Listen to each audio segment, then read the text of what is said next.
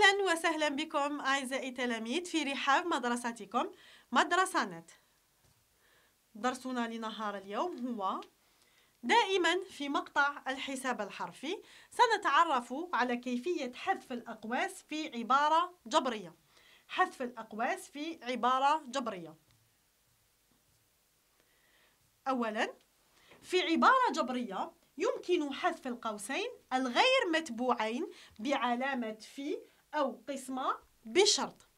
يعني عندما تكون لدينا عبارة جبرية يمكن حذف الأقواس الغير متبوعين. يعني لا يوجد قبل الأقواس أو بعد القوسين علامة في أو علامة قسمة. بشرط نحذف القوسين المسبوقين بإشارة موجبة دون تغيير إشارات الحدود داخل القوسين. ونحذف القوسين المسبوقين بإشارة سالبة مع تغيير الإشارة لكل حد موجود داخل القوسين. سوف نرى مثال عن ذلك. المثال الأول في هذه العبارة الجبرية اللي هي ثلاثة قسمة 2 في 4 زائد 3 نلاحظ أن القوسين متبوعين بعلامة آه، قسمة يعني بالقسمة. وبالتالي لا يمكن نزع الأقواس في هذه العبارة الجبرية. لا يمكن حذف الأقواس. لماذا لا يمكن حذف الأقواس؟ لأن هذان أو هذا القوسين متبوعين بالقسمة. مثال رقم اثنين اثنان في خمسة زائد واحد. كذلك هنا لا يمكننا حذف الأقواس. لماذا؟ لأن القوسين متبوعين بعلامة في ونحن قلنا في القاعدة أنه لا يمكن حذف القوسين المتبوعين بالقسمة أو في إذا نقول أنه لا يمكن حذف الأقواس. مثال آخر. ثلاثة زائد خمسة زائد 2 إكس ماذا يساوي؟ هذا القوس متبوع بإشارة زائد وبالتالي يمكننا حذف القوسين دون تغيير أو دون إحداث تغيير في الإشارات ماذا نجد؟ نجد ثلاثة زائد تبقى على حالها نحذف القوس تبقى خمسة اللي هي موجبة زائد 2 إكس ثم نقوم بعملية الحساب. ثلاثة زائد خمسة يساوي ثمانية زائد اثنان إكس. مثال آخر. إكس زائد 2 ناقص 3 إكس. هذان القوسين متبوعين بإشارة موجبة متبوعين بزائد. وبالتالي عند نزع القوسين لا نحدث أي تغيير في العبارة التي توجد داخل الأقواس. إذا نحذف الأقواس ونترك العبارة على حالها. x زائد تبقى على حالها. ننزع القوس ونترك اثنان نترك ناقص 3x لم نحدث فيه تغيير وننزع القوس. ثم نقوم بعملية الحساب. x ناقص 3x يساوي ناقص 2x و2 يبقى على حاله. إذا بعد تبسيط هذه العبارة الجبرية نجد 2 ناقص 2x الآن لدينا 7 ناقص 3x ناقص 4 ماذا نلاحظ؟ نلاحظ أن القوسين متبوعين بإشارة سالبة وبالتالي نقوم ب آه، مثلا 3x لديها إشارة موجبة نعكس هذه الإشارة. إذا نحذف الأقواس مع عكس كل إشارة آه، يعني إحداث تغيير لإشارات الأعداد الموجودة داخل الأقواس سبعة ناقص ثلاثة. ثلاثة إكس عفوا. إذا ثلاثة إكس كانت موجبة تصبح ناقص ثلاثة إكس. ناقص أربعة كانت سالبة تصبح زائد أربعة. ثم نقوم بعملية الحساب. سبعة زائد أربعة يساوي إحدى عشر وناقص ثلاثة إكس. مثال آخر. ثلاثة إكس مربع ناقص 2x ناقص 7x مربع زائد 5 نلاحظ أن القوسين متبوعين بإشارة سالبة وبالتالي سوف نحدث تغيير في الإشارات عند نزع الأقواس. فنتحصل على ثلاثة إكس مربع اثنين إكس كانت موجبة تصبح سالبة فتصبح ناقص اثنين إكس. سبعة إكس مربع كانت سالبة تصبح زائد سبعة إكس مربع وخمسة كانت موجبة تصبح سالبة ناقص خمسة. نقوم الآن بتبسيط هذه العبارة. تبسيط هذه العبارة معناه حسابها. ثلاثة إكس مربع زائد سبعة إكس مربع يساوي عشرة إكس مربع وناقص اثنين إكس ناقص آه عفوا ناقص اثنين إكس.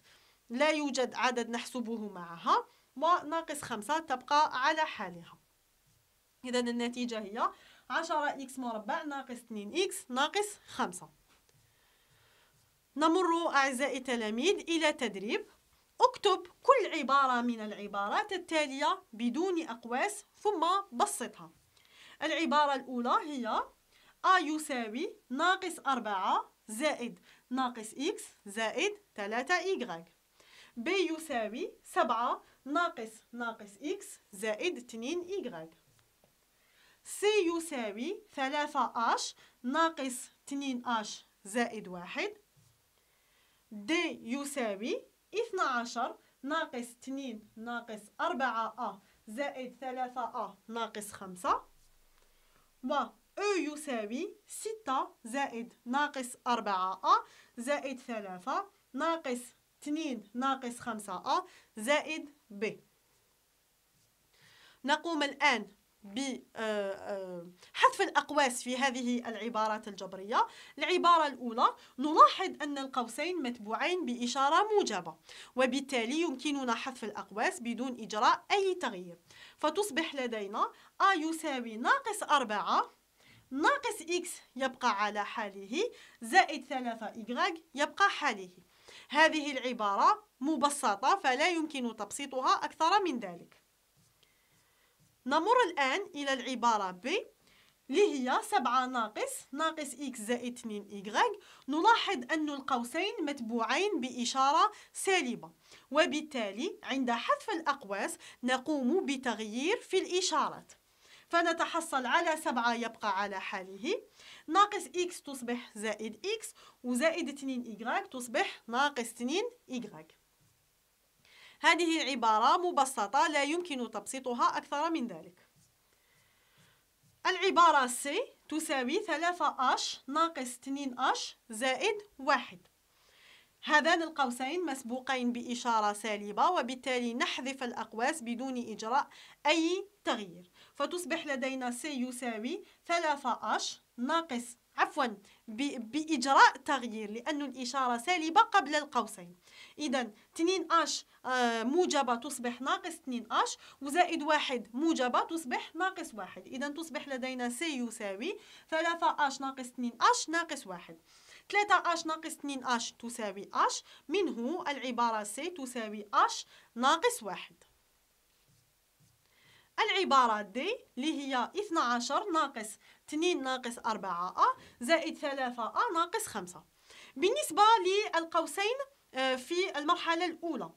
مسبوقين هما مسبوقين بإشارة سالبة وبالتالي عند نزع الأقواس آه، يحدث تغيير إلى العبارة الموجودة داخل القوسين. فتصبح 12 2 آه، بإشارة موجبة تصبح بإشارة سالبة أي ناقص 2 ناقص 4 أ تصبح زائد 4 أ. أما بالنسبة للقوسين في المرحلة الثانية فهما مسبوقين بإشارة موجبة وبالتالي لا يوجد تغيير أو لا نجري أي تغيير بالنسبة للعبارة الموجودة داخل القوسين.